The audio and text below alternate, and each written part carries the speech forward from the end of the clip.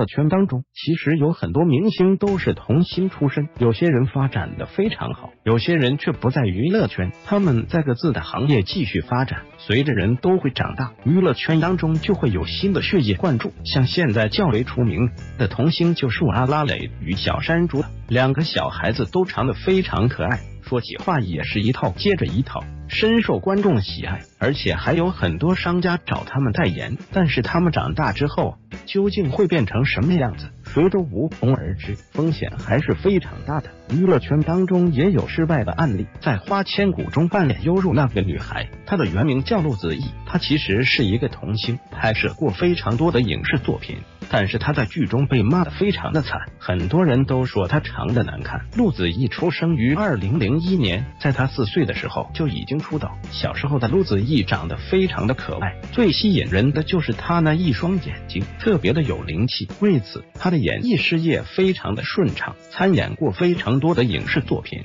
与娱乐圈的多位大咖合作过，成为炙手可热的童星。所有人都在期待她的成长，但她颜值却越来越往下走了。在二零一五年拍摄《花千骨》的时候，就被骂的非常的惨，眼睛小，鼻子塌，脸颊宽，长得真不好看，没有一个人能够认出这是当年那个童星，甚至网友都说他一个人拉低了整部剧的颜值，真的是要多惨就有多惨，这么大打击，对于从小顺风顺水的陆子艺来说是难以承受的。陆子艺从拍摄完《花千骨》之后就没有再拍戏了。而是选择了出国留学深造，提升自己的水平。出国留学之后，陆子艺的微博变隔一两个月才会发一次动态，发的都是一些在国外的生活照，更多是安心在外念书。从他发照片上来看，可以看到他现在瘦了很多，常德也是越来越漂亮了。据悉，陆子艺已经拥有一百 W 的奔驰和四十 W 的奥迪了，年纪轻轻就能有如此大的成就，也是非常不错了。